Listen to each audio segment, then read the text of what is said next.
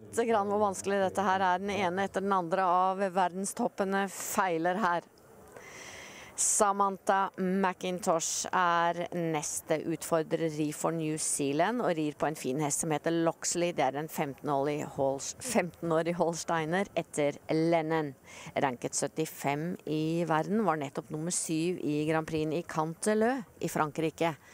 Denne ekvipasjen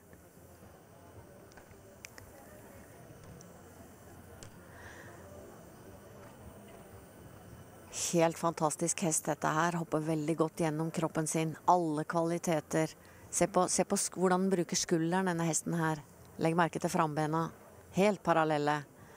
Atlet, denne hesten.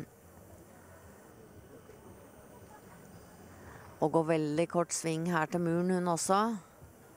Viktig her at eh, rytterne hele tiden har i tankene den korte maksimaltiden, men uten å stresse. At stresset da går over på hesten. De beholder roen, men tenker tiden. Og rir fornuftige økonomiske rideveier. Hvilken atlet denne hesten her er. Denne skulle jeg ikke hatt noe mot å ha på stallen.